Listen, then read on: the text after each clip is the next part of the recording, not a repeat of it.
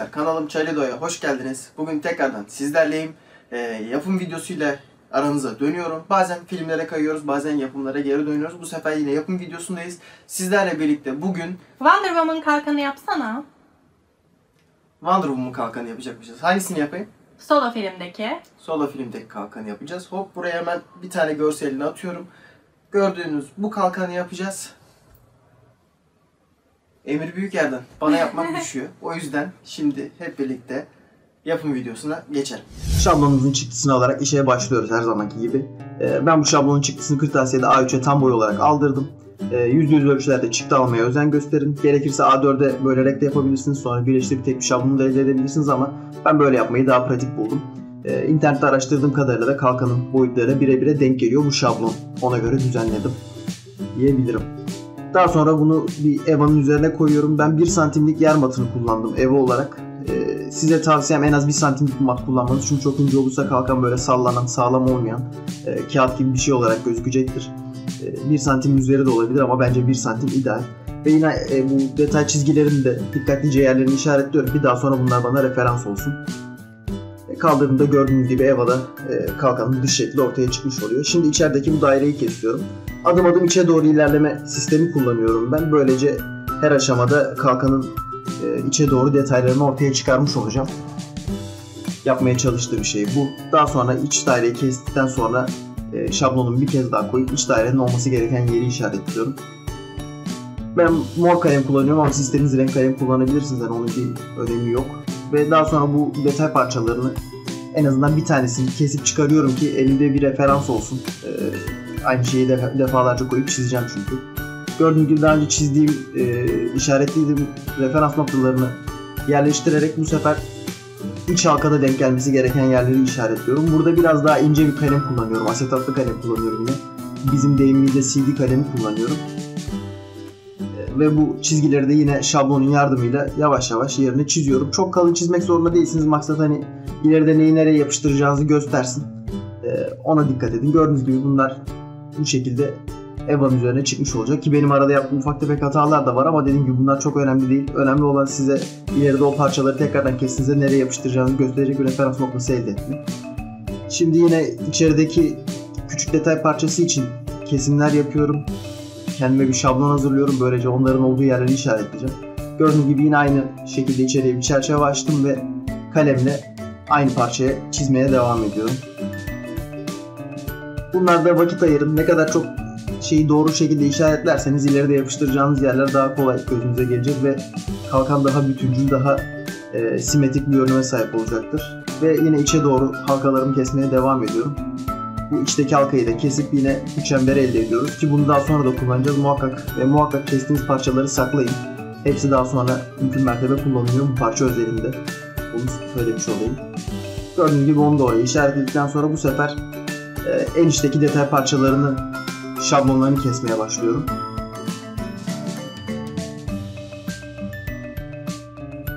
Ee, Burada amacım ortadaki bu güneş gibi şekli ortaya çıkarmak bir yerde aynı zamanda. Çünkü onu da aynı şekilde çizeceğim, onu da kullanacağım. Ee, Gördüğünüz gibi o çıktıktan sonra da onu da iğnelerle e, Eva'nın üzerine tutturup yine parçaları çizmeye devam ediyorum. Burada merkeze kadar gidemiyorum çünkü şablon izin vermiyor ama e, neyi nereye yapıştıracağımı dediğim gibi çözmek adına yaptığım bir şey. Ve daha sonra eksik kalan yerleri de yine göz kararıyla tamamlayarak çiziyorum. Bu çok dediğim gibi önemli bir şey değil. Maksat 3 aşağı 5 yukarı neyin nereye yapışacağını kestirebilmek. Ve bu güneşin içerisindeki oklardan birer tane kesiyorum. Mesela şimdi uzun olanı kestim. Böylece onu merkeze doğru çizip e, tam olarak ortadaki şekli çıkarmış oluyorum. Ortadaki çemberi çizmiş oluyorum bir nevi. E, ve hangi parçanın nereye yapışacağını görmüş oluyorum. Ve akabinde de ortadaki çemberi kesip çıkarıyorum. O da yine benim elime bir şablon olacak. Ortaya yapıştıracağım Eva'yı keserken. Onu da yine koyup ortada gördüğünüz gibi kenarlarda biraz boşluk kaldığını görüyorum ama bu çok büyük bir sorun değil. E, çünkü parçalar kestikçe ettikçe uzayacak, kısalacak. Eva biraz bu konuda kolaylık sağlıyor. Şimdi yapmak istediğim bu çizgiler için yer çekmek. Parmakla gösterdiğim gibi çizgiler her zaman içe doğru birleşiyor. Ona dikkat edin muhakkak. E, o kestiğim parçaları koyup başlangıç ve bitiş noktalarını işaretleyip daha sonra cetvel yardımıyla bu çizgileri çiziyorum. Örnekte gördüğünüz gibi ve hepsini çizdikten sonra da yine cetvel yardımıyla çok derin olmamak üzere küçük yarıklar açmak suretiyle her bir çizginin üzerinden e, maket bıçağıyla yavaşça geçiyorum. Bu işlem bittikten sonra ısı tabancasıyla şimdi üzerlerinden geçip o çizgileri, o detayları daha çok ortaya çıkaracağım. Dediğim gibi çok fazla bastırmayın. Küçük çizikler bile ısı tabancasıyla çok rahat açılacaktır. Eva küçüldüğü için e, ortadaki boşluğu ortaya çıkaracaktır. Gördüğünüz gibi üzerinden ısı tabancasıyla geçtikten sonra ortaya çıkan şekil, oradaki detayların tamamı yer alıyor. Bunları göz kararı da çizebilirsiniz ama ben biraz takıntılıyım o konularda. Tek tek parçaları koyup işaretleyip gördüğünüz noktalardan e, daha sonra referans alarak çizmeyi tercih ettim. Ve hepsi bittikten sonra da dikkatlice kalkanın yerinden kesiyorum falçatayla. Burada elimi mümkün mertebe 90 derece tutmaya çalışıyorum. Ve gördüğünüz gibi 3 aşağı 5 yukarı kalkanın ana şekli ortaya çıkmış oldu. Peki bu yeter mi? Hayır. Yani kalkan dediğinizin kenarları sonuçta ince olur diye düşündüğüm için şimdi de içe doğru 45 derecelik bir açıyla falçatamı tutarak ki falçatayı öncesinde olabildiğince keskinleştirdim. Ee, bir kesim yapıyorum. Bunun çok düzgün olması şart değil. Önemli olan iyi kötü olması. Kalkanı kesip çıkardıktan sonra daha kolay olduğu için böyle yapmayı tercih ettim. Ve daha sonra da Dremel'le e, kenarları biraz daha düzleştiriyorum. Böyle falçatadan kalan kesik e, işte izleri vesaireleri mümkün mertebe yok ediyorum. Kalkanın arka yüzeyine daha sonra bir şeyler yapacağımız, yapıştırmalar yapacağımız için bu arka yüzeydeki desen e, yapışmaya engel teşkil eder. O yüzden onun mümkün mertebe zımparalamaya çalışıyorum. Benim böyle bir zımpara makinem var. Bununla yapıyorum. Bu biraz işleri kolaylaştırıyor bu tarz aşamalarda ama tek başına yine de yeterli değil. Gördüğünüz gibi e, 80 dereceli bir zımpara kağıdıyla bir kez daha üzerinden geçiyorum. Ve sıra geldi kalkana şekil vermeye. Bunun için böyle bir pilates topu kullanacağım. Bu 65 santim yarı çaplı bir pilates topu. Üzerine gördüğünüz gibi kalkanı yapıştırıyorum. Hani o kayması etmesin. ikinci bir ona yardımcı kişi yok çünkü. Hani biri varsa tutar. Onu yapmanız şart değil bu arada. Sadece söylüyorum. Ve daha sonra çevresinden e, bu plastik streçte sararak komple topa yapışmasını sağlıyorum. Amacım tam bir daire şekli verebilmek. Acele etmeyin. Olabildiğince çok sarın. Çünkü bu e, istediğiniz şekli almasına yardımcı olacak. Tek başına yeterli olmayacak. Birazdan göreceksiniz. Daha ilk işlemler yapacağız. Dediğim gibi mümkün mertebe çok sararak topla e, kalkanın birleşmesini sağlayın. Ve bu şekil havada kalan bastırılmayan yerlere de ben koli bandıyla yine zorlamak suretiyle e, iyice top ve kalkanın bir olmasını sağlıyorum. Ne kadar az çıkıntı girinti olursa o kadar düzgün bir şekilde elde edersiniz. Yani bu aşamaya mümkün mertebe vaktinizi ayırın ki ben gördüğünüz gibi bantlama işlemi bitip de elimden geldiği kadar yapıştırdıktan sonra bir kat daha üzerinden bir iki kat daha hatta streç filmle sarıyorum. Ve artık yapmanız gereken şey normalde sıcak havada bir arabanın içine bırakmak. Ancak işte gördüğünüz gibi benim evimin balkonu şu anda. Benim şansıma hava yağmurlu, günlük güneşlik değil. Sürekli yağmur ve soğuk var. Ondan kelli ben arabanın içine koyup o şekli almasını, ısıyla o şekli almasını sağlayamıyorum. Onun yerine ben birkaç hafta topa sarılı bırakmayı tercih ettim. Ee, süreyle aslında bunu sağladım bir nevi. Ee, ve sonrasında da 2-3 hafta işte 1-2 hafta tam süreyi hatırlamıyorum şimdi. Sonrasında da yavaşça e, yerinden kesip çıkardığımda gördüğünüz gibi bu şekil bir dış bükey eğim almış oluyor ve bu da kalkanın şeklini sağlıyor. Daha sonra bu merkezdeki küçük daire için e, parça biraz önce gözüme küçük göründü şablondaki. Onu biraz böyle kendim kenarından bir santim büyüterek yaptım ama e, daha sonra söyleyeyim küçük olanı kullandım. O yüzden siz burada ne yaptığıma bakmayın. E, kendiniz gidin şablondan direkt çıkanı kullanın. Bir daha büyütmeye çalışmayın. Ve o parçanın biraz diğerlerinden yüksek olduğunu gördüğüm için e, 5 mm'lik formla 2 mm'lik formu birbirine sandviç gibi yapıştırıyorum. Böylece 7 mm'lik bir form elde ediyorum. Köpük elde ediyorum. Evinizde diğer formlardan yüksek duracak herhangi bir 6-7 santimlik form varsa çünkü ben detay parçaları 5-2 ile yaptım. Ee, direkt onu kullanabilirsiniz ama benim elimde olmadığı için bunları birleştirip kullanmak zorunda kaldım. Gördüğünüz gibi bu daireyi çıkarıyorum. Ama dediğim gibi daha sonra ben küçüğünü kullanacağım onu görüntüye çekmemişim. O yüzden şimdiden söylüyorum. Ve daha sonra sıra geldi bu güneşvari işte ortadaki şeklin ok gibi olan parçalarına. Onları da 2 mm'lik Eva formdan yapıyorum. Şablonda kaç tane var şu an hatırlamıyorum. Kaç tane olması gerekiyorsa o kadar çizip kesin. Ee, Ben mümkün mertebe düz kenarları keserken her daim cetvel kullanıyorum ki kesimlerim e, düzgün olsun bir şeye benzesin. Hepsini kestikten sonra gördüğünüz gibi bu sefer diğer daha küçük veyahut da büyük olan oka geçiyorum artık emin değilim hangisi şu an görüntüde. Ve onu yani önemli olan güneşten çıkan okları kesmek ve dediğim gibi mümkün mertebe düzgün kesimler yapılana kadar da cetvel kullanıyorum. Burada da 5 santim 5 milimetrelik Eva foam kullandım ve yine ne kadar gerekiyorsa o kadar kestim ve Dremel'le bu ortadaki daire kenarlarını biraz yuvarlatıyorum ki daha güzel bir şekil elde etsin. Aynı şekilde bu güneşten çıkan işte ortadaki okların da kenarlarını biraz yuvarlıyorum. Böylece daha e, hoş bir görüntü elde etmek amacındayım. Ve daha sonra bunları e, hepsini bir maskeleme bandı üzerine koyuyorum ki diğer yapacağım işlemlerde yerlerinden kımıldamasınlar. Ben de rahat rahat çalışabileyim. Amacım üzerlerinde biraz desen oluşturmak, böyle deri görünümü sağlamak. Onun için de bir alüminyum folyoyu böyle buruşturuyorum. Bu parçaları ısıtıp ısıtamancasıyla üzerinden dikkatlice bastırıyorum.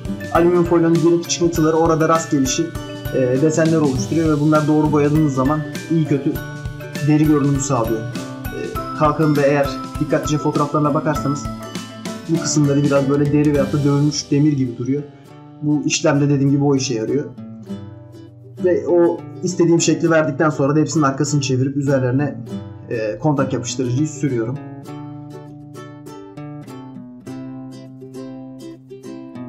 Sıra geldi onların e, kalkanın üzerine daha fazla aynı şekilde desen çıkarmaya. Çünkü kalkanın sadece o kısımlarında değil diğer yerlerinde de aynı desenler çokça var. Ve olan her yer aynı şekilde ısı tabancasıyla ısıtıp e, alüminyum folyoyla bastırıp o deseni elde ediyorum.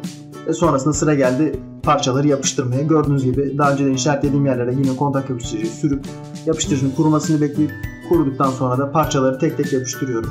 Dikkat ederseniz parçalar biraz uzun. Bu çok önemli bir şey değil. Eve ısıttığınız zaman çünkü uzar kısalır hani şekil değişebilir uzamasına bir sakınca yok. Oraların tam sivri olması şart değil. Fazla parçaları dikkatlice kesiyorum. Ee, bu ikinci sıradaki çemberi bu sefer yine 5 mm'lik evadan kesiyorum. Gördüğünüz gibi dikkatlice iç parçasını çıkardım. Böyle bir çember elde ettim ve kenarlarını yine dremelle dikkatlice böyle biraz eğim veriyorum ki çok böyle düz küt işte makasla kesildiği, parça tayla kesildiği belli olmasın hesabı. Yine buna da aynı deseni veriyorum. Bu işlemleri yaparken ne kadar maskele mandile bir yüzeye tutturursanız sağa sola uçuşmaz, kaçmaz. Siz de böyle sivri olmadan daha rahat yaparsınız. Kontak yapıştırıcıyı o çemberin arkasına sürdükten sonra kalkanda olması gereken yere de aynı şekilde sürüyorum. Ee, Ve şimdi bunu hizalamak biraz sıkıntılı olabilir çünkü kontak yapıştırıcı temas ettiği anda tutacak ve bir daha oynatmanız imkansız olacak. Yırtmanız, koparmanız gerekecek. O yüzden böyle kağıt parçaları kesip koyup iyice hizaladığından emin, olduktan sonra tek tek bu kağıt parçalarının olduğu yerden çekip çemberi dikkatlice tamamıyla yerine yapıştırmış oluyorum. Sıra geldi bu detayları yapmaya gösterdiğim. Onları bu sefer şablondan kesiyorum. Böyle bir üçgenimsi parça elde etmiş oldum. Yine burada da ufak bir hata yaptım. Bu parçanın oraya tam denk gelmeyeceğini düşündüm. Kendim şablonu biraz daha büyüttüm. Gördüğünüz gibi yaklaşık 1 santim kadar üstüne ekleme yaptım. Ee, Çünkü şablon parçasını tuttuğumda tam denk gelmeyecek gibi duruyordu. Biraz daha büyük bir şey lazım gibi gözüküyordu ama e, daha sonra Eva'ya geçirdiğimde parçaların gereğinden fazla büyük olduğunu gördüm. Halbuki şablonu tam boyutunda kestiğim zaman birebir denk geliyor. Siz benim yaptığımı yapmayın, şablonu kullanın. Ben çünkü daha sonra parçaların fazlalık kısımlarını keseceğim, siz de göreceksiniz. Şimdi bir kenardaki bu çizgiyi dikkatlice kestim yerinden. Böylece oraya küçük bir e, o çizgileri çizme şansını elde ediyorum ki tam olarak kesmiyorum. Ufak bir yarık açıyorum sadece. Şablonu sağa sola çevirerek de aynı yarığı diğer tarafa da koyabilirsiniz. Bazılarında kalemle işaretleyip e, cetvelle yapmayı da tercih ettim. Bu artık o an elinizin düzgünlüğüne, yorgunluk halinize vesaireye bağlı olarak yapacağınız bir işlem. E, gördüğünüz gibi tam olarak kesmedim. Küçük sadece yarıklar açtım. Bunlar da bittikten sonra hepsini yine ısıtıyorum. Böylece o yarıklar daha bir ortaya çıkıyor. Oraya kesilmiş bir işte desen gibi detay olarak ortaya çıkıyorlar. Özellikle kesmiyorum yerlerinden çünkü bunların sağa sola uçuşmasını istemiyorum. Yine aynı desen çıkarma işlemini gördüğünüz gibi ısı tabancası alüminyum folyo ile yapıyorum ki yakın çekimde de gördüğünüz neye benzediğini. Ve artık bu işlem bittikten sonra tek tek parçaları yerinden kesiyorum. Böylece parçalarımı elde etmiş oluyorum ama gördüğünüz gibi tam kamera gerçi odaklamamış ama parçalar biraz gereğinden büyük. O yüzden arka kısmından fazlalık olan kısımlarını bu sefer ana şablonu koyup keserek e, elde etmem gereken gerçek boyuttaki parçaları elde ediyorum ve sıra geldi yerlerine yapıştırmaya. Bunun için yine ben kontak yapıştırıcı kullanıyorum. İki yüzeye de sürüp kurumasını beklemek gerekiyor. Böylece temas halinde bir daha oradan ayrılmayacak şekilde yapışıyor. Ve kuruduktan sonra da dikkatlice, yavaşça parçaları yerlerine yapıştırmaya başlıyorum. Gördüğünüz gibi işte kaç tanesi o kadar kestim. Hepsini detaylandırıp yapıştırdıktan sonra Dremel'le de kenarlarını bir güzel düzeltiyorum. Bunu yapıştırmadan önce de yapabilirdim ama unuttuğum için yapıştırdıktan sonra yapmak zorunda kaldım. Ve ondan sonra da yine kenarlarda fazla kalan bölümleri Dremel'le düzeltip zımparalayıp aynı şekilde parçaların kenarlarına da eğim veriyorum. Sıra geldi içerideki bu detayı çizmeye. Bunun için de yine bu küçük parçayı kesiyorum ve içteki çizgilere tam kopmayacak şekilde kanallar açıyorum. Bu kanallar benim daha sonra çizgileri çizmeme yardımcı olacak. Bunun için 1 milimetrelik EVO kullanıyorum. Daha önce 2, 5 e, ve 1 santimlik kullandım dedim ama burada 1 kullandım. 1, 1 milimetrelik EVO e, yetmeyeceğini de fark edince yani çok düşük kalacağını fark edince de daha sonra altına 2 milimetrelik EVO daha koyup e, toplamda 3 milimetrelik EVO kullanmaya da karar verdim. E, izlerken hatırlıyor insan bazı şeyleri. Kusura bakmayın. Ve akabinde de onları birbirine yapıştırıp bu desenler için çalışmaya başlıyorum. Şimdi yaptığım şey ise yine bu çizgilerin üzerinden yavaşça e, maket bir çayla geçmek ve ısıyla o çizgilerin hepsinin ortaya çıkmasını sağlamak. Amacım buydu ve bir yandan da bu yine desen elde etmeye çalışıyorum her zamanki. Ancak o çizgiler Eva çok küçük olduğu için ısı tabancasıyla açılmadı. Ben de bunun için ağaç yakıcı kullanıyorum. Woodburner dedikleri şey. Siz e, lehim tabancası da kullanabilirsiniz fark etmez. Önemli olan ısıyla oralara o çizgileri çekebilmeniz. O detayları da yaptıktan sonra yine yüzeylerin iki tarafına kontak yapıştırıcıyı sürüp kurumasını bekleyip o kururken de parçaları yerinden kesip bu parçaların hepsinin arkasına tek seferde çünkü kontak yapıştırıcıyı sürmüştüm. Küçük parçaları sürmek zor oluyor biraz da o yüzden kesmeden önce sürdüm. Bu şekilde parçaları elde ediyorum ve hepsini yerlerine dikkatlice yavaş yavaş yapıştırıyorum. Yani kalkanı yapmak çok zor değil aslında. Aynı parçadan defalarca yapmayı gerektiren biraz sıkıcı bir süreç olabiliyor. Gördüğünüz gibi kenarlarda bu şekilde oldu. Arada ufak boşluklar var onları dert etmeyin daha sonra onları dolduracağız. Şimdi geldi sıra kalkanın arkasını e, ellerinizde tutabileceğiniz bir yer yapmaya. Yine ben Eva'dan o daha önce ayırdığım çemberin içi kadar bir daire kesiyorum ve bunu 45 derece içe bakacak şekilde kesiyorum. Böyle ucuz yolla aldığım bir kemeri kullanıyorum. Siz de bu şekilde bir kemer kullanabilirsiniz. E, arkasındaki kahverengi olduğu için ben kahverengi tercih ettim. Ve kendi kolumu referans alıp duracağı yerleri işaretleyip kanallar açıyorum aslında. Yaptığım şey bu. Ve kemeri o kanallardan geçirip alta doğru yapıştıracağım. Sağlam bir düzenek kurmaya çalışıyorum. Yani yarın öbür kopuk gelmesin. Direkt silikon tabancasıyla da yapıştırabilirdim ama istediğim şey sağlam olması, dayanıklı olması. O yüzden e, arka tarafa gördüğünüz gibi bu şekilde de kanallar açıyorum ki kemer içine tam otursun, tam olarak yapıştırabileyim. Yani diremeliniz varsa bu işlem biraz daha kolay yoksa zımparayla uzun sürer veyahut da makasla, bıçakla oraları kesip açabilirsiniz.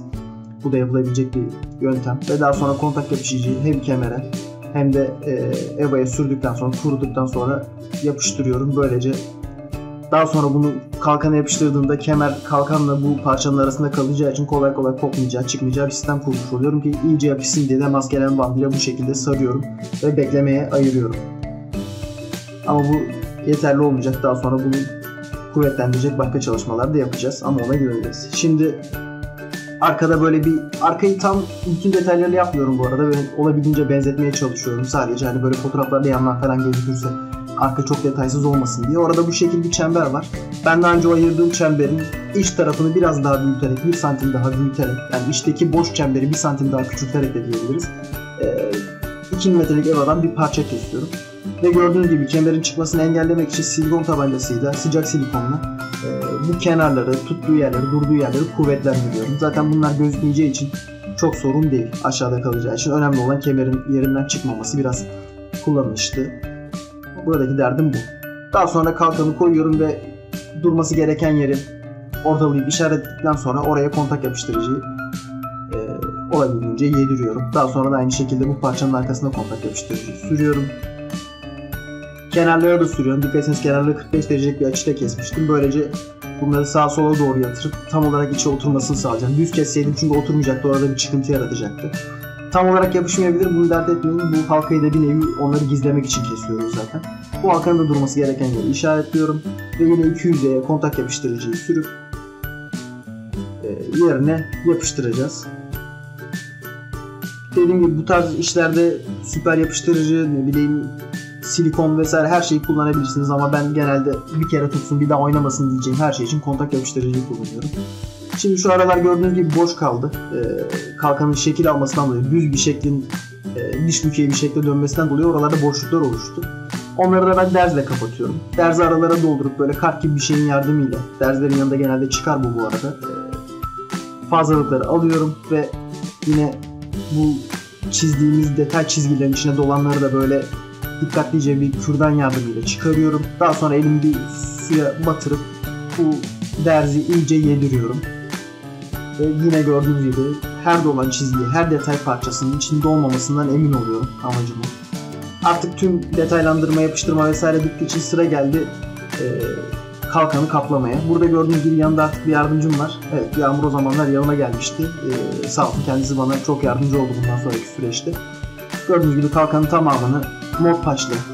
E, ben burada tek kat yapıyorum. Normalde zaman mod paçı 3 kat kullanmaya özen gösteririm ama çok fazla e, alüminyum folyo ile detay çıkardığımız için mod paçlarının dolup kapanmaması için sadece tek kat olarak kullandım. Amacım e, daha düzgün bir yüzey elde edebilmek. Formun kendi böyle köpüklü işte delikli durumundan kurtulmak. Arka tarafa da süreceğiz ama sürmeden önce bu kemer üzerine gelsin istemediğim için onları gazete ve maskeleme bandıyla kapatıyorum. Ve daha sonra kalan yerlerin tamamını yine aynı şekilde bir kat mod paç yediriyorum. Artık geldi tamamıyla mühürlemeye. Bu iş için de plastik kullanıyorum. Ee, yani sadece mod başlayabilirsiniz ama plastikle yapınca daha kaliteli oluyor. Hem yüzey kalitesi hem boyayacağınız e, kalite hem de astar görevi görüyor. Gördüğünüz gibi önüne ve arkasına e, plastik ipi iki kat uyguladım. Burada da iki kat kullandım plastik ipi. Daha sonra ben yine bu parmak boya, parmak yaldız dediğimiz işte fingerbox dediğimiz ürünü kullanıyorum boyamak için. Küçük bir sünger parçasına boyayı biraz batırıp fazlalığı peçeteye silip yüzeye yavaşça yediriyorum. Bu şekil yapınca hem fırça izi olmamış oluyor hem de e, böyle biraz demirin dövülmüş havasını veriyor bu. Çünkü yer yer boya denk geliyor, yer yer denk gelmiyor. Böyle rastgelişi bir görüntü oluşuyor. O da işime yarıyor. Hem eskitme görünümü vermiş oluyorum. Altın olması gereken her yere gördüğünüz gibi bu şekilde süngerle sürüyorum. Ve şimdi sıra geldi bu ince çizgilere sürmeye. Ancak bunlara tabii ki sürmek çok kolay değil. O yüzden maskeleme bantlarını ince ince kesip öncesinde bunların tamamında bir koruma yaptık yani etrafa dağılmaması için ve fırça yardımıyla yine aynı boyayla yavaş yavaş o arada kalan çizgileri boyuyorum. Burada fırça izi çok belli olmaz. Çok ince olduğu için fırça kullanmanızda bir sakınca yok ama büyük alanlarda ben şu anda gördüğünüz gibi ortadaki parçalar gibi sünger kullanmayı yeğliyorum. Bütün her yere dikkatlice yavaş yavaş e, altın olması gereken her yere bu işlemi yapın. Bittikten sonra yavaşça bu maskeleme bantlarını dikkatlice söküyorum. Ancak siz de göreceksiniz bazı beyaz ufak açıklıklar var. Bazı yerlerde plastik ne yazık ki söküldüğü geldi maskeleme bantlarıyla. Büyük bir sorun mu? Hayır değil. Düzeltebiliriz. O alanlar dışında kalan her yeri dikkatlice kapladım gördüğünüz gibi. Bolca gazete ve e, maskeleme bandı kullanıp daha sonra plastik ipli o açılan yerlerin üzerinden bir kez daha geçtim. Plastik ipin arasında bu birbirine tekrardan tutunabiliyor. Ve gördüğünüz gibi bu sefer artık o tarz sorunlarımız, sıkıntılarımız yok. Sıra geldi yani aslında bu fingerbox dediğimiz boya eskitme görünümü veriyor ama biraz daha ben detayların ortaya çıkmasını istiyorum. Bunun için siyah akrilik boyayı suyla bolca karıştırıp black wash dediğimiz siyah yıkama dediğimiz yöntemi yapacağım ve e, bunu yapmadan önce bolca böyle kağıt havluyu yanınızda bulundurun çünkü fazlalığı üzerinden kağıt havlu yardımıyla alacağız. Gördüğünüz gibi hiç elimi korkak alıştırmadan tüm yüzeylere siyah sulandırılmış akrilik boyayı yediriyorum ve daha sonra bir süre kurumasını bekledikten sonra da üzerinden peçeteyle dikkatlice alıyorum. Bu işlemi içini sinene kadar yapmaya devam edin ve bittikten sonra da ben mat vernikle tüm yüzeyleri koruma altına aldım. Artık boyalar çıkmasın, üzerine hiçbir şey gelip gelmesin gibisinden. Mat vernik kullanmayı tercih ettim. E, o işlem de bittikten sonra kemerlerin üzerindeki bu şeyleri dikkatlice söküyorum. Maske matları ve gazete kağıtlarını ve kenarlarda kalan ufak tefek e, yanlışlıkları da siyah klip boyayla kapattıktan sonra bunu yağmur için yaptığım için onun kol boyuna göre fazlalık kalan kemeri kesiyorum. Ve bu sayede kalkanı bitirmiş oluyorum diyebiliriz. Şimdi bakalım sonuçta neye benzemiş.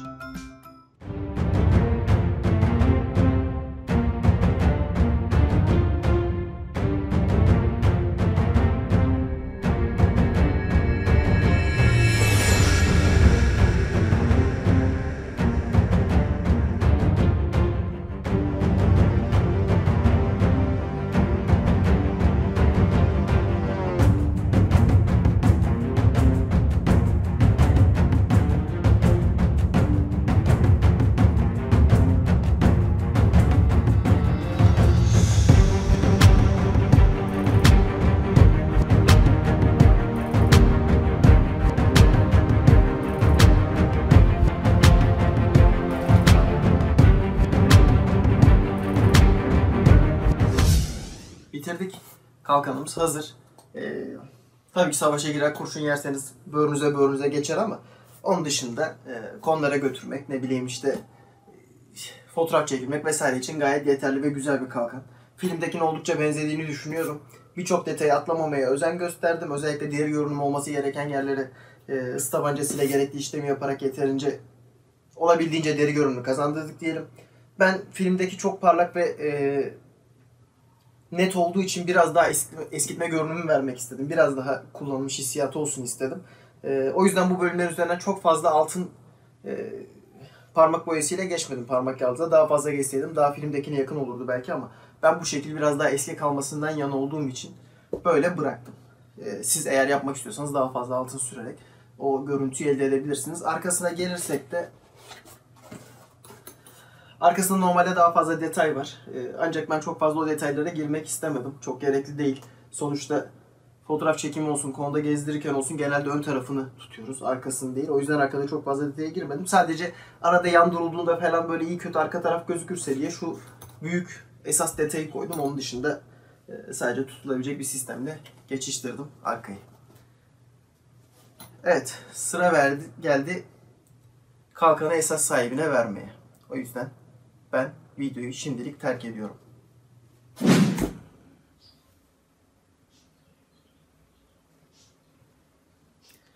Beğendin mi olmuş mu? Evet çok beğendim. Teşekkür ederim. Güle güle kullan.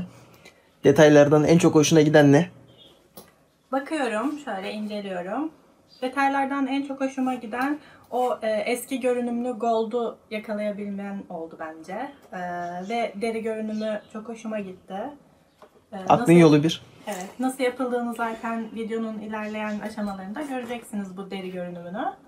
Ee, benim çok hoşuma gitti. Daha önce incelediğim kalkan e, yapım videolarına da baktım. Onlarla kıyasladığım zaman bence bu daha eski görünüyor. Ee, daha kullanılmış. Hani e, savaşta e, savaşın vermiş olduğu eski görünüm bunda hissediliyor diye düşünüyorum. Bence çok güzel. Başka söylemek istediğin bir şey var mı? Ee, kostümün devamını da istiyorum. Aha, iş çıkardık kendimize. Neyse, bir ara yaparız. Acelesi yok. O zaman yer değişelim. Fırlat kalkan.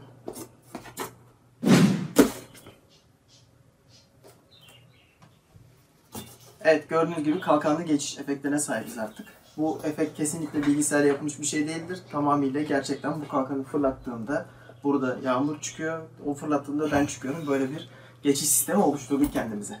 Neyse, lafı geyiği uzatmayacağım. Kalkanın nasıl yapılacağını gördünüz. Bir sonraki yapım videolarında ee, birlikte olmak dileğiyle demeden önce kalkanın şablonunu aşağıda açıklamalar kısmında paylaşacağım. Oradan isteyen indirip kullanıp yapabilir. Ee, aklınıza takılan bir şey olursa, farklı bir fikriniz varsa lütfen yorumlarda sorun, belirtin bana söyleyin. Ee, o konuda elimden geleni yaparım. Fikirlere de açığım. Kendiniz yaparsanız lütfen bana fotoğrafını yollayın. Sonraki videolarda paylaşmak isterim yaptıklarınızı. Öyle yani diyeceklerim bunlar. Videoyu beğenmeyi, sağda solda paylaşmayı, kanala abone olmayı, kendinize iyi bakmayı unutmayın. Gelecek videoda görüşmek dileğiyle, hoşçakalın.